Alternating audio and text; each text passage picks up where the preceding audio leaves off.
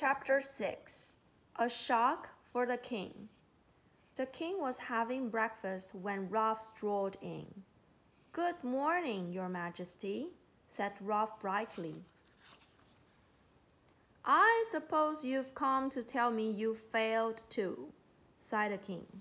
Ah, but I didn't, sire, Ralph replied. Waving the twigs, he told the king what he'd seen. The mystery is solved. This all sounds very unlikely, grumbled the king, when Ralph had finished. Are you sure you're not just making it up to save your head? He decided to call for Annabel.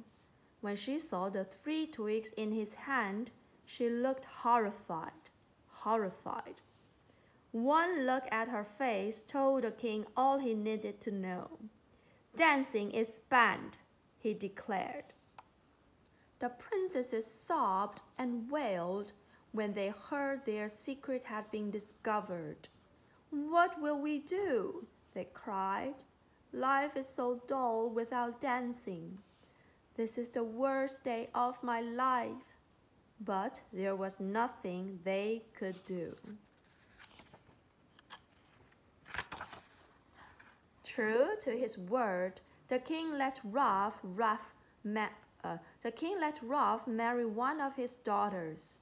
I'd like Amy, Ralph said. If she'll have me, she's the sweetest of all. I'm sure you'll both have you'll both be very happy. Amy and Ralph's wedding was a joyful occasion. Even the king couldn't stop smiling. I have a surprise for you, he whispered to Amy. I have a surprise for you, he whispered to Amy. The king led her to the ballroom, and Amy gasped. Hundreds of candles lit up the dance floor, and in the corner, a band was playing a lively tune.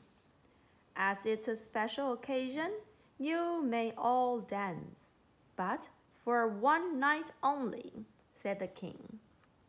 Oh, how wonderful, cried Amy and her sisters, grabbing partners.